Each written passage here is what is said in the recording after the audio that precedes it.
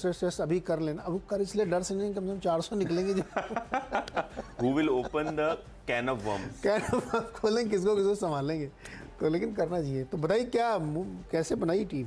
सो so, team तो obviously खबरों के आधार पर बनाई है और अगर हम आज देखें तो काफ़ी सारी इंटरेस्टिंग चीज़ें आपको दिखेंगी। uh, सबसे पहले अगर हम देखें तो आदित्य बिरला कैपिटल ये एक स्टॉक पे फोकस करेंगे क्योंकि uh, नए सीईओ uh, जो आए हैं जो मैडम हैं उन्होंने काफ़ी सारी रिस्ट्रक्चरिंग का माइंडसेट से जो है कमान संभाली है।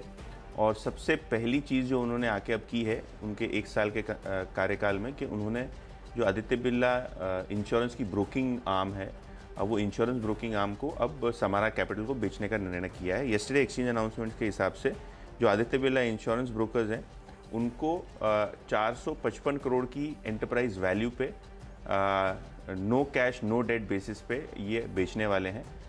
ऑब्वियसली अगर हम आदित्य बिरला कैपिटल की बात करें तो स्टॉक में यही एंटिसिपेशन है कि जो जो नया मैनेजमेंट है वो बिज़नेस को रिस्ट्रक्चर करेगा, थोड़ा लीन करेगा। और काफ़ी हद तक इन्होंने ये चीज़ की है। और सबसे पहला अनाउंसमेंट जो है, वो इंश्योरेंस ब्रोकर्स का है। तो ये स्टॉक एक रखें आपके रिडार पे।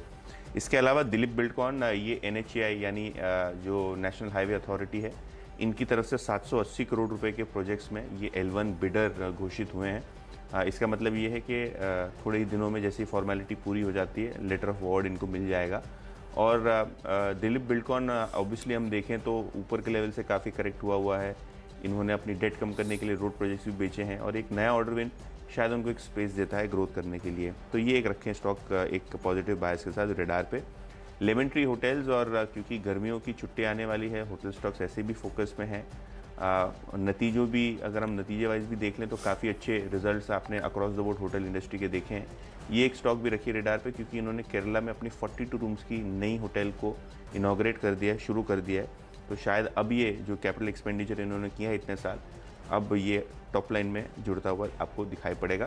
तो नीरज जी तीन तीन स्टॉक्स करें या और चौथा भी ले लूँ तीन तीन करिए क्योंकि मेरे आठ स्टॉक एक ही थी लाइव इजी कर लिया मैंने अपने ठीक है ठीक है। तो ये ये तीन स्टॉक्स ऑब्वियसली uh, है और uh, नीरज जी भी अपने तीन स्टॉक्स बताएँगे हाँ, तीन तीन बताएँ। उसे जो आपके एक बड़ी थीम इन्होंने पकड़ी है। हाँ तीसरा स्टॉक जो आपका है ना लेमन ट्री आज इसके मैनेजमेंट से हम केवाईसी बात करेंगे। बहुत बढ़िया। और इनका एक सात सौ कमरे का होटल है। हम्म। आपने देखा वो कह रहा अक्टूबर में शुरू हो जाएगा वो। ये अपने मुंबई के एयरपोर्ट के पास है। पुराने वाले एयरपोर्ट के पास मतलब नया तो रहे बना भी नहीं लेकिन बताने भारत का सबसे बड़ा होटल है। सेवन हंड्रेड रूम्स तो एक्चुअली केवाईसी आपको होटल में जाके करना चाहिए था क्योंकि नहीं अभी खुला नहीं है वो मैंने उनसे बात की तो बोला अक्टूबर में खुलेगा तो फिर वहीं से हम करेंगे। 700 कमरों का है और उससे उनको एफ़ वाई ट्वेंटी फाइव में 200 करोड़ का एबिटा मिलेगा। हम्म। तो बड़ा प्रॉमिसिंग है। बिज़नेस होटल टाइप इन्होंने बनाया हुआ नहीं वो प्रीमियम में है। बड़ा बड़ा होटल है।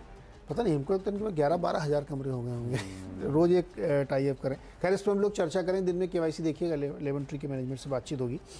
जो मैंने आज थीम पकड़ी वो मेरी लाइफ बहुत इजी हो गई। बहुत सारे स्टॉक हमने अलग अलग ले लिए। मैंने आज लिया है गैस वाले स्टॉक्स तो शुरू में जो तीन बता रहा हूँ मैं उसमें आई जी और गुजरात गैस।